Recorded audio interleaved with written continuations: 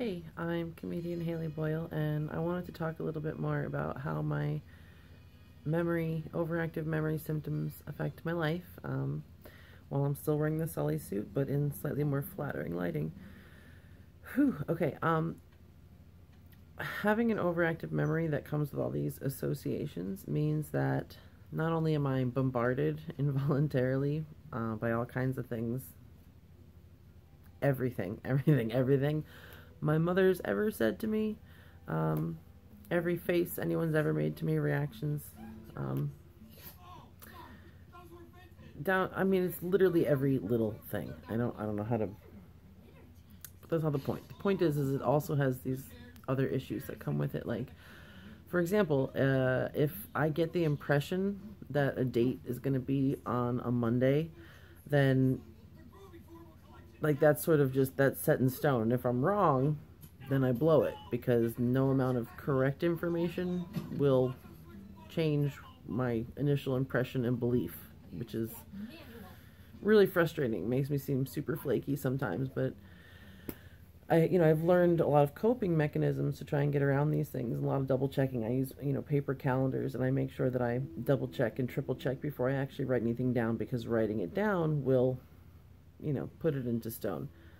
Um, I actually missed an intake once for a mental health program because I was so sure that the 18th was a Monday um, that I missed the appointment. And boy, were they shitty and mad about it. like, I'm like, you guys are a mental health treatment facility. you think you'd kind of be a little more understanding that people make sometimes really simple mistakes, even though they're smart, capable people. Um, but it means that maneuvering through everyday life is just crazy hard, especially if I'm alone. Um, and a lot of people have accused me of being a pussy, basically.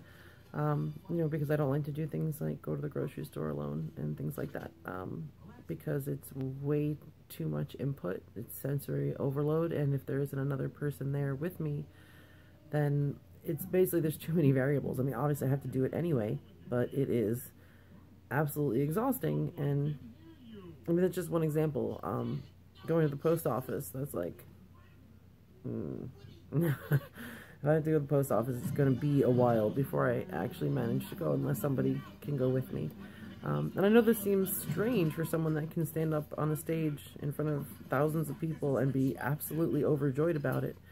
Um, but on stage is the one place where I actually understand what I'm supposed to do, and it's not hard for me to do it.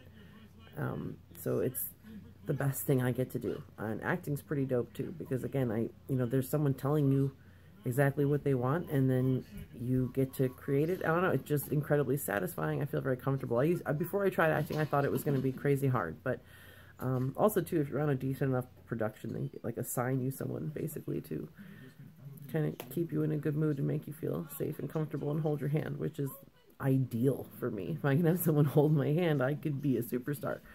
Um, but it makes it difficult to forgive because I can't forget. Period. It. Oh my god, I'm talking like I'm voice to texting as I've been isolated for almost two weeks now. Um,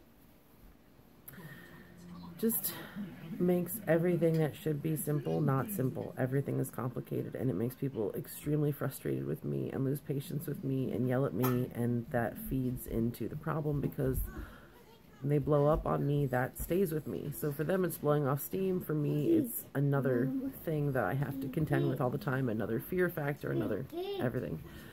So, I mean, it's really just the tip of the iceberg. I'm so tired, man wish me luck.